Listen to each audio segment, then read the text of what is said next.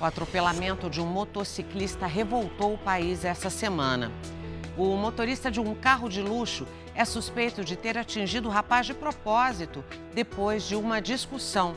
Esse motorista acumula diversas infrações de trânsito e também é investigado por ter perseguido uma família com o mesmo carro que matou o motociclista.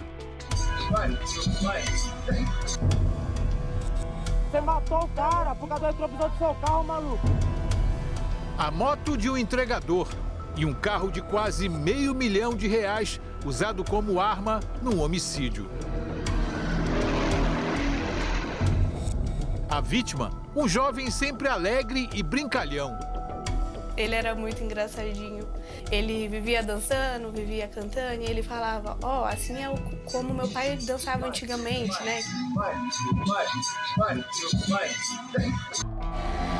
Apaixonado por motos desde criança.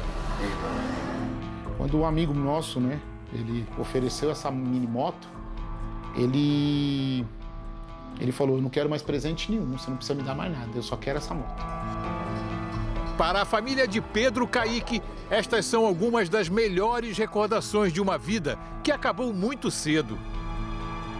O pai do rapaz, Alex, tem uma van de transporte escolar e foi nela que o filho começou a trabalhar há três anos. Assim que ele atingiu a maioridade, eu trouxe ele para trabalhar comigo. Ele era meu auxiliar, ele, ele é que controlava né, o acesso das crianças, a subida e descida das crianças. Pedro era jovem e se preocupava com o futuro. Ele, para complementar a renda dele, ele começou a. Ele me pediu, né, para mim ajudar ele a comprar essa moto, né, uma motinha para ele poder trabalhar e fazer uma renda extra. Mas infelizmente acabou acontecendo a fatalidade e aí a um sonho interrompido, né? Porque minha vida acabou, porque ele que sempre estava comigo. Aos 21 anos, o Pedro Caíque tinha sonhos, fazia planos, crescer profissionalmente, melhorar de vida. O trabalho como entregador de aplicativo unia a paixão pelas motos com a possibilidade de faturar mais do que o transporte escolar. Mas tudo isso se acabou no início da madrugada da última segunda-feira, aqui neste ponto onde eu estou, numa avenida da zona sul da capital paulista. Câmeras de segurança registraram o momento em que um carro de luxo perseguiu, atropelou e matou Pedro Caíque. A velocidade do veículo era tão alta que mal dá para ver a motocicleta. Testemunhas dizem que a batida foi provocada por uma discussão no trânsito momentos antes. O jovem teria quebrado o espelho retrovisor lateral do carro de luxo, que era dirigido por Igor Ferreira Salceda, de 27 anos. Igor teria então perseguido e atropelado o motociclista. O Pedro tinha um temperamento explosivo, não? Não. Você vê Esse, o Pedro chutando o, o, o retrovisor dele? Não, de forma alguma. Jennifer, a irmã mais velha, foi a última a ver o caçula com vida. Era da casa dela que ele vinha naquela madrugada de segunda-feira. Ele ligou para um primo nosso, né? E ele falou assim: Gabriel, vem pra cá, hoje é meu último dia. E ele ficava toda hora nessa tecla. E eu, por quê? E ele, hoje é meu último dia. Ele só falava assim. E aí depois ele pegou, foi pra casa dele. Jennifer foi a primeira a chegar ao local do acidente. Perguntei se o meu irmão estava vivo, me informaram que sim e se eu queria ir na ambulância com eles. Eu falei que sim, né? Só que depois eles falaram: não, é melhor você seguir de carro, porque eu tenho certeza que meu irmão ali já não estava mais com vida. Você sentia isso? Sentia. De acordo com a declaração de óbito, Pedro Caíque morreu por politraumatismo. Eu não acredito nessa, né, nessa formalidade que ele falou, não. Que ele disse que meu menino chutou o retrovisor e tentou fugir. Como ele vai fugir com, com uma moto de baixa cilindrada referente com o carro da, da potência daquele, do carro dele? As imagens do acidente logo ganharam as redes sociais e o pai não teve mais dúvidas. Ele assassinou meu filho, ele é um, ele é um assassino. Ali ele não foi com intenção de conversar, ele não foi com conversão de nada. Ali ele já estava na intenção mesmo, foi de matar.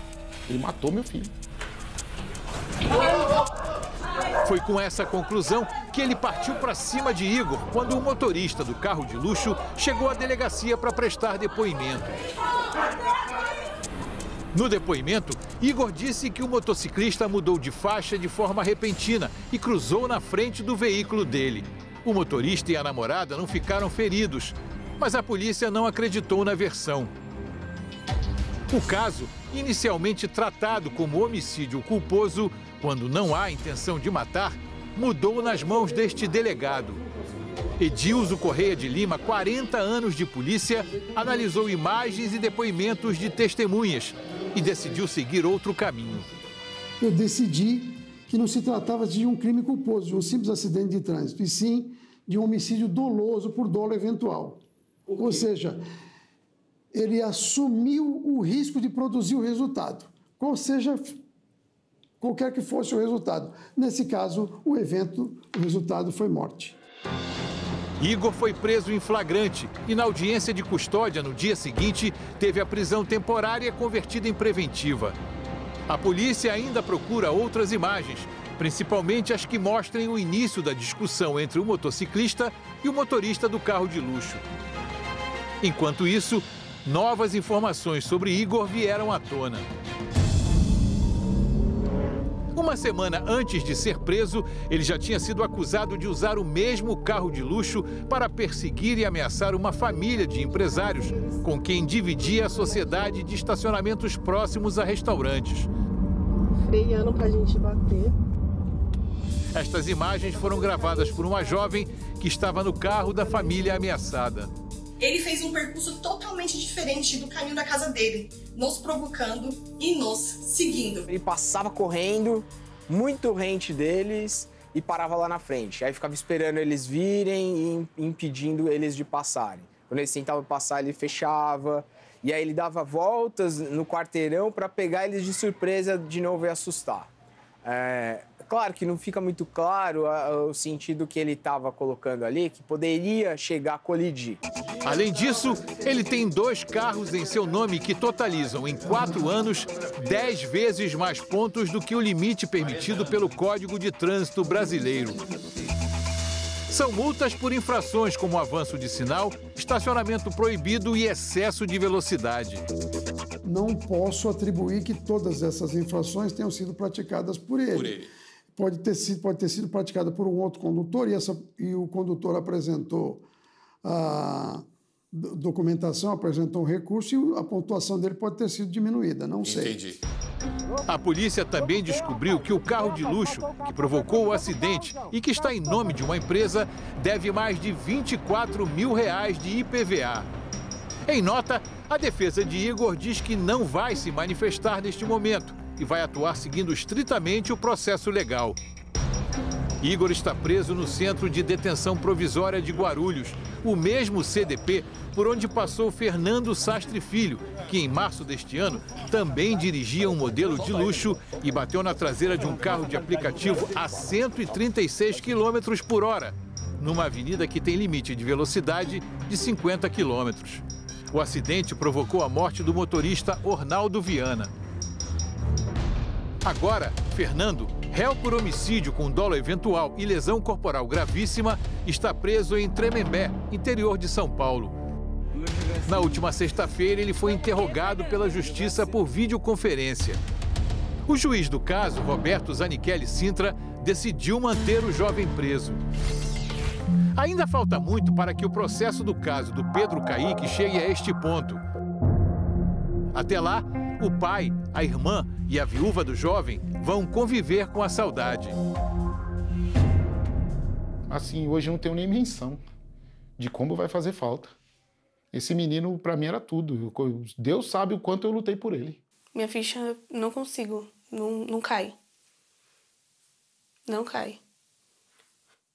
Eu, sabe, eu ainda tô perdida nos dias. Kailane, casada há um ano e meio com Pedro Caíque, olha para as roupas dele, que ficaram no armário. Tudo te lembra ele? Tudo. Ele fazendo palhaçada para mim, ele chegando do serviço, me dando um beijo, todo dia ele chegava e me dava um beijo, independente se a gente tinha brigado ou não.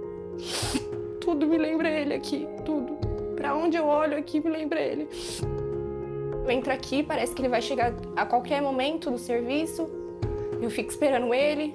Eu dormi aqui esta noite, que a noite inteira tentando procurar ele pela casa, tentar pelo menos sonhar com ele para eu poder aceitar a minha dor. Ele não foi só, ele me levou junto.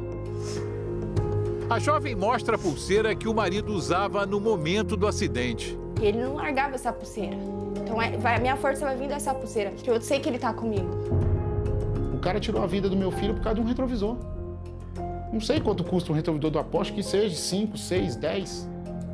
E quanto vale a vida do meu filho hoje? O quanto eu não daria para que ele tivesse aqui hoje? Daria tudo. Daria até minha vida por ele para ele tivesse aqui hoje.